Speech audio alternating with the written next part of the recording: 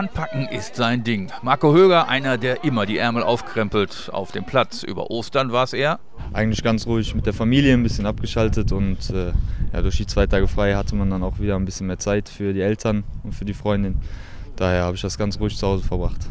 So richtig klassisch mit Eier suchen oder ist das nicht mehr angesagt? Nee, nee, das war früher mal, da habe ich mich gefreut, aber jetzt glaube ich, wird man mir keinen Gefallen tun mit Eier suchen. Dienstagmorgen war es aber vorbei mit der Ruhe. Trainer Jens Keller rief, aber nicht alle konnten kommen. Höwe deswegen Grippe, Metzelder, Jones, Obasi wegen diverser Verletzungen. Gut, dass Marco dabei ist. Drei Tore und elf Assists in seinen letzten elf Bundesliga-Einsätzen.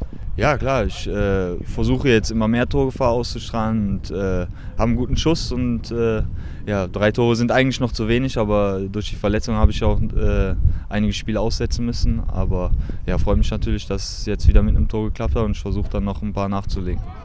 Die Verletzung kostete ihn die halbe Vorrunde. Trotzdem war seine Unterschrift im Januar besonders bei Horst Held begehrt. Den Vertrag habe ich ja nicht umsonst verlängert. Ich bin äh, froh und stolz, äh, auf Schalke spielen zu dürfen und will das auch noch weitere Jahre machen. Mindestens bis 2016. Ob als Rechtsverteidiger oder auf der angestammten Position im zentralen Mittelfeld, auf Marco ist Verlass. Prompt fragen ihn Pressevertreter nach seinen Träumen. England oder lieber Spanien? Wenn man dann ein paar gute Spiele macht, dann äh, kommen so Themen auf, aber wenn man ein paar schlechte äh, Spiele macht, dann sitzt man gerade bei einem guten Kader bei uns auch mal schnell wieder auf der Bank und dann redet keiner mehr über einen. Aber ja gut, da, da beschäftigt man sich eigentlich nicht so sehr mit. Äh, ich bin, wie gesagt, froh, hier, spiel, äh, hier zu sein und äh, spielen zu können, meine, jetzt mittlerweile meine Tore machen zu können und das freut mich. Die einzigen Träumereien vom Ausland gehen in Richtung Europapokal.